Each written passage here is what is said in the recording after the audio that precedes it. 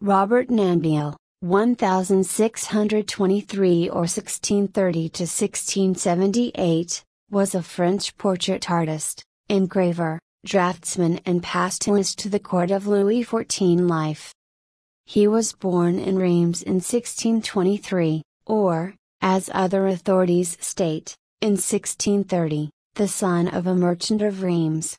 He studied philosophy in his native Reims but was already an engraver by the time he defended his thesis in 1645.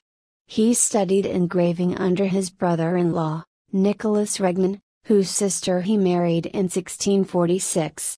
In 1647 he moved to Paris where he worked with the engraver Abraham Bosse and the painter Philippe de Champaigne. His crayon drawings and prints quickly earn him a reputation as the most sought after portraitist of his time, and he was appointed designer and engraver of the cabinet of King Louis XIV. It was mainly due to his influence that the king granted the Edict of 1660, dated from Saint Jean de Luz, by which engraving was pronounced free and distinct from the mechanical arts, and its practitioners were declared entitled to the privileges of other artists.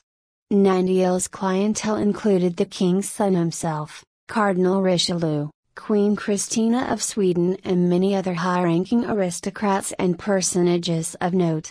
Among the finest works of his fully developed period may be named the portraits of Pompone de Bellièvre, Gilles Ménage, Jean Loret, the Duc de la Meilleraye and the Duchess de Nemours. He died at Paris in 1678. The plates of Nanteuil, several of them approaching the scale of life, number about 300. In his early practice he imitated the technique of his predecessors, working with straight lines, strengthened, but not crossed, in the shadows, in the style of Claude Mellan, and in other prints cross-hatching like Regnesson, or stippling in the manner of Jean Boulanger, but he gradually asserted his full individuality, modeling the faces of his portraits with the utmost precision and completeness, and employing various methods of touch for the draperies and other parts of his plates.